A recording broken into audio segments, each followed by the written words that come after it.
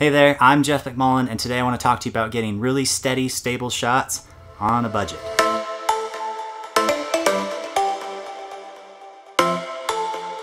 To get steady shots, then it really helps the further you can get your hand away from the lens, because it's all these little micro shakes that your hands do that uh, we want to get rid of. And the easiest way of doing that is, is really just hook your camera to anything. So first thing we're gonna talk about is a bendy tripod. So you've definitely seen these before, every vlogger has one. They're a really good option because you can leave them attached to your camera most of the time and it gives you a good handle to get your hand further from the lens. So just walking around, you get really stable shots. And then when it comes time to do a time lapse or, you know, set up the camera somewhere to talk to it like this, then there's really, uh, it's, it's super easy and convenient to be able to bend all the legs around if you're on uneven terrain. Or, you know, it can be cool to wrap the tripod around like a tree limb or something. So crazy convenient. That's why they're so popular is, you know, they're really cheap. Like um, the one I use was, I think 12 or $15 on AliExpress. Um, just, just go there and look up bendy tripod. But if you want to use it for a DSLR or mirrorless size camera like I have, then definitely make sure it says like giant or the largest one you can get on AliExpress. And it's it's not that big. They're still uh, they're still smaller than the hundred dollar ones from Amazon. So I have one of those ones that looks like a knockoff of the Joby GorillaPod ones, and they're really cheap. But I don't recommend those because they wear out and they stop holding themselves up very well, and the legs start coming apart, and you have to keep putting them back together. They're really not good. So this one that I have, it still grips really well if you want to wrap it around something, but they have a metal core in the leg that's just bendable metal. I spent a lot of money on this camera that I'm filming on, so I don't really trust it on one of those um, little crappy knockoff Joby ones that are the black and white or whatever. So, but this one I do trust. I've had two of them and I haven't had any problems with them. The foam does kind of start to wear out and cracks, probably because I got this one wet, but um, it doesn't affect how well it's going to hold the camera. So um, metal metal legged ones that you can bend around are a really good way to go and they're still only 12 or 15 dollars for this size of one. You can actually pair a bendy tripod with this next one I'm going to talk about, but you may choose to just start out with this one because it's really simple. It gives you a few added features, especially if you're filming with a smartphone or something, and they're still crazy cheap. Like I think this was like five bucks. So um, this is a L bracket, they're called, and as you can see, I have a microphone mounted on here. So you mount a microphone, and this microphone is the one that works on my cell phone or a camera. So it's got a nice rubber grip, it's sturdy metal, and uh, then this is adjustable. You can slide this little thing to where whatever you're mounting. Um, really quick, I'm gonna show you. So these, this is a little phone holder thing.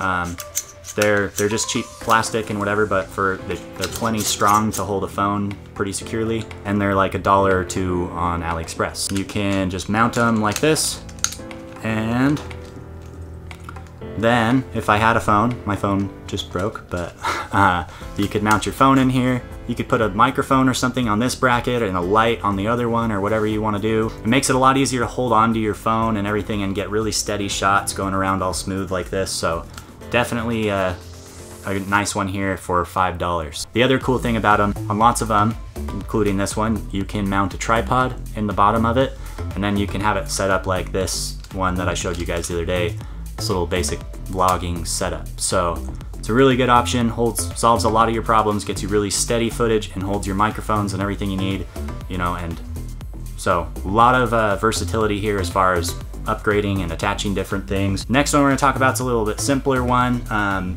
depending on what you're using, then maybe something like a little selfie stick. So you'll be surprised how much um, just with a GoPro or your phone, how much this, uh, just this, not even like using it as a selfie stick, just as a handle, will stabilize your footage because you can hold your hand a lot more steady like this than like, you know, like this. If you're filming with a GoPro at all, you never really want to be hand holding it. If you're filming with a phone, you can sometimes get away with hand holding it, but I wouldn't recommend it.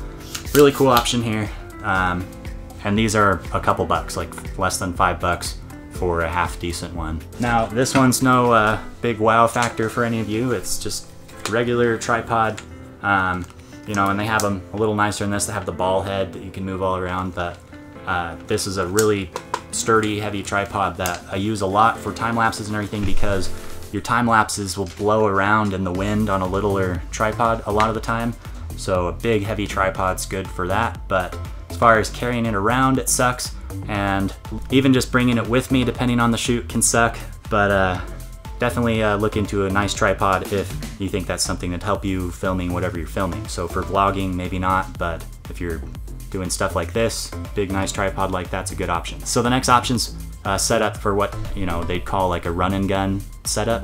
So it's actually right here. So this is, uh, and I have this all stripped down because I wanted it lighter and easier, but this is just a shoulder mount. So I'd take that camera, mount it right here, and then that's, it's crazy stable. I filmed for like the first year or two, year and a half for pretty much everything I've ever done adventure filming. Then we at least bring this and we pretty much always use this as our main setup because it's like, it turns basically your whole body into a tripod. So you can see how just walking around, even if you have shaky hands and everything, then just this three points of contact really stabilizes it a lot. And with these rails and everything that I have some attachments, but there's all sorts of ways to customize these. You can put all these cages and extra mounts to mount different, you know, an audio recorder and a microphone and lights and all of it. So there's really endless possibilities with something like this. I, I spent like a hundred bucks on it, I think, and it came with a matte box and a follow focus and some other stuff. So they're a pretty cool option depending on what you're filming, but another good option for getting stable shots. So this last one's probably my newest addition to the arsenal of all this crap. Uh, and it's probably my favorite. So comes with this nice case. Uh, so this is the Zhiyun, Zhiyun Smooth Q. I've never had a problem with this. It has been so amazing and made this thing has made my life so much easier. Uh, I'll just I'll throw the GoPro on here or my phone or whatever and you can walk around and get crazy stable, smooth, awesome shots with this. And this one, I, I think I paid 140 for it, and I think they might have even come down a little in price. So um, that's a, that was when I bought it about half the price of the DJI Osmo, and it does pretty much everything the Osmo can do. It has a setting on it where you can have the you could draw a little box over your face on your phone and have it sitting there keeping it pointed at your face so you don't have to pay attention and frame your shot, that's really awesome. So um, this has, I, I've used this so much since I bought it. It's probably my favorite piece of equipment just because it's so easy to use and it looks crazy professional when you use it. So um, these are some of the shots that I've gotten with this and most likely what I'm showing you is the GoPro. I'll also show you a couple different phones using this and uh, um, this worked with, I think it's an iPhone 7 Plus. Um, so it is limited in how big it can hold stuff, but it worked with a 7 Plus. So, you know, if your phone's a little bigger than that, then, uh, you know, maybe like the Note 8 or something. Is that the one that explodes? So depending on how big your phone is, then, uh, you know, you, you might want to look into something bigger, but uh, it did work with a 7 Plus, so if you're that size or smaller, then you're good. Um, so you clip your phone in and you can either hook your phone up to it through Bluetooth and use the smart settings like it can do motion time lapses and it can do, like I said, like object tracking, including your face. Once again, I'd, I'd show you it with my phone, but my phone's in a bag of rice right now, so I'll use this for like getting some really cool cinematic shots or my B-roll or something, and uh, I'll mostly just mount the GoPro in it, but you can actually turn this and this thing actually does work uh, filming, I forget how it goes, but you can film in portrait. Yeah, it goes like this. One thing that I found that's really cool is I have the GoPro Hero 6 and I'll just mount it in here sideways, uh, just like that, and walk around and that's, I've seriously, I can't believe the quality of the footage pairing these two and I leave the stabilization on on the GoPro. I haven't had any problems with them interfering, but um, you know, on some gimbals then it could and in the future maybe I'll stop doing that. But for now it's just been dead smooth awesome footage. I can't believe the footage that I get out of this and the GoPro. So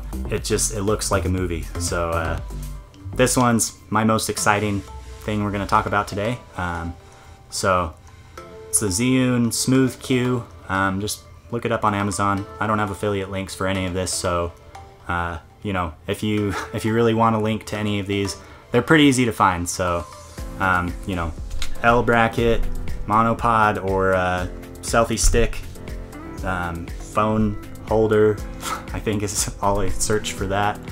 Um, the other one's a shoulder rig, shoulder mount, um, tripod. and Smooth Q three-axis gimbal. So this thing just I, I can't I can't say enough good stuff about this. Oh, and before I forget, um, the battery on this lasts for something like 12 hours or something of use. So I've never had it die because I'm never I've never been filming for 12 hours straight. I also am pretty confident most of the time that uh, it's still uh, it's still got enough charge for anything I want to do. Um, even if I forgot to throw it onto charge and I just have to run out the door in a moment's notice. You can mount the flexible tripod to the bottom of this and then you can do um, motion time lapses where you can tell it, okay, I want you to start up here and then in an hour or something end over here and it'll sit there and do a slow move over there to get a really cool time lapse. So you can mount it with the L bracket. You know, I can have my phone on the gimbal, have the microphone plugged into it. The other thing that I was saying is that the um, smooth the Smooth Q has that I don't think the DJI Osmo, which is still way more expensive than this, has. You can use this as a battery, as a power pack to power your camera. So if you have a GoPro or a phone or whatever on here, you can have it plugged in and have the microphone plugged in and be using it, getting the stable shots and not worrying about killing your battery or anything like that. So um, this is probably the cheapest gimbal you can get and I've, I've compared it to a couple other cheap ones and this is by far my favorite. Comes with a nice case and a charging cable and some stuff, uh, but this thing is seriously uh, my favorite piece of stabilization equipment. So thank you all for watching. Um, none of this was paid advertisement or anything. I'm, I'm just trying to show you guys some things that I've found that have really improved my quality, um, I hope. and uh, you should see what it looks like without this stuff. So I hope this has helped you at least know more about what's out there as far as stabilization goes. Um, you know, I've told you bendy tripods probably a must. The L bracket's really awesome. I can't believe I didn't have one sooner and the um, Smooth Q gimbal is my favorite thing ever. So thank you for watching. I hope you enjoyed this video, and I'll see you in the next one.